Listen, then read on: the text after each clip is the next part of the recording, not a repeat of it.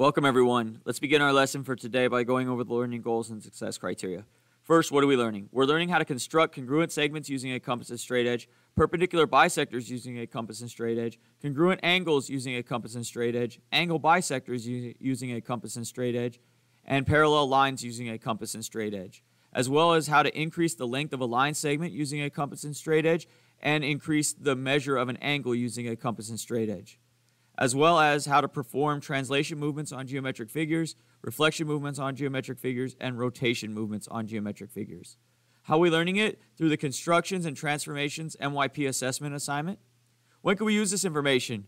To create matching sets of furniture or recreate a piece of furniture, to cut boards into smaller equal pieces in order to create or repair furniture, to recreate a piece of furniture or decoration by increasing its size, to determine whether a piece of furniture will fit in your house if you move it, to understand why mirrors invert the appearance of things by switching the left and the right, and to set the time on a non digital clock. How do you know you learned it? By getting a score of 4 on the Constructions and Transformations MYP assessment assignment. Now let's take a look at our agenda for today. We will begin by going over our learning goals and success criteria. Next, we'll do our weekly raffle. After that, I'll give you time to complete the Constructions and Transformations MYP assessment assignment on Desmos. At the end of class, we'll go back over our learning goals and success criteria while you fill out your before you go. Your only homework for tonight is to work on any incomplete assignments that you may have. Let's talk now about how to sign in to Desmos to complete your work. So what we're going to do is you're going to click on the link to go to the assignment and it should take you to a page that looks kind of like this. And right here where it says sign in with Google, we're going to click there.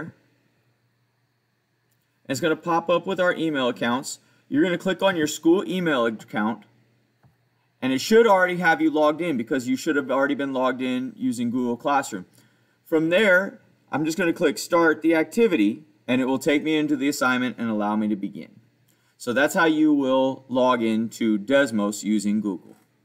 Let's take a look now at the Constructions and Transformations MYP Assessment Assignment. The assignment begins with the learning goals and success criteria. If we scroll down, there's a link here to take you to the Desmos activity. Go ahead and click on that link and it should take you to a page that looks like this. We'll go ahead and click Start the Activity. The assignment begins with the learning goals and success criteria. We'll go ahead and click Next. The instructions for this say do not open until instructed to do so. You can use a graphing calculator. You don't really need one though, so don't worry about the calculator for this one. Answer all the questions and make sure that your answers are in the correct boxes. Unless otherwise told, round to three significant figures. There's no rounding in this assessment, so you don't need to worry about that. And then the maximum number of points for each section is eight. Make sure that you answer all the questions. So we'll go ahead and click Next. It says in part of the drawing, and this will go in the top right of your picture, create a line segment and then copy it. So you'll create a line segment using your tools and then copy it and create another one that's identical. So you'll do that for this one.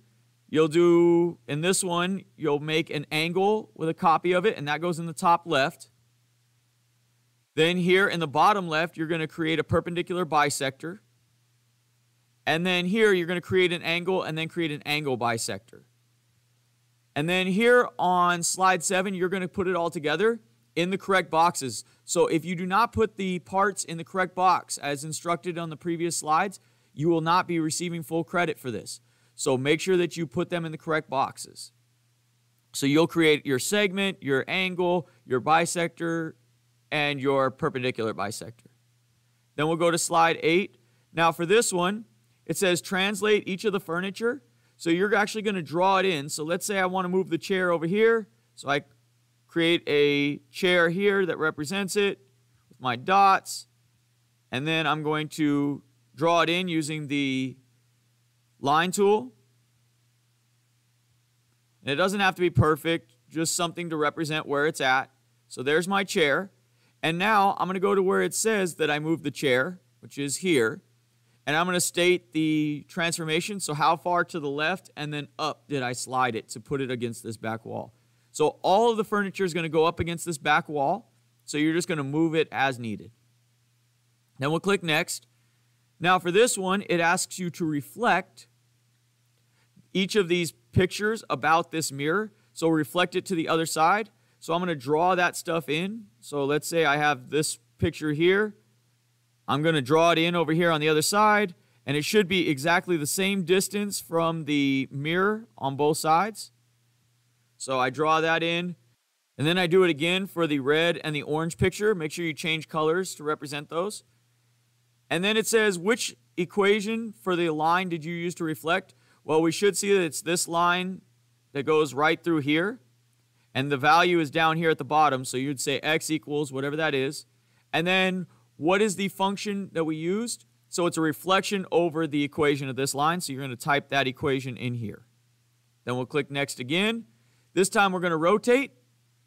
So here we have our clock and it is currently 12:15, but the time is actually 12:45. So we need to rotate it so that it goes to here. So you're going to draw in the new hands to represent it. So here's my hands. It says in blue, draw it here. So this is what it actually is. And how much do we rotate to get there? Well, we can see we rotated a certain number of degrees. So you'll state that there. And then we forgot that it's actually daylight savings and we need to fall back. So in green, we're going to draw the hands again and then state how far we need to go backwards if we want to rotate it back to being now 1145. And then when you're done with that activity, you'll go ahead and go back to your Google form and click next. This will take you to your before you go. Go ahead and fill out your before you go and then submit your work on Google Classroom.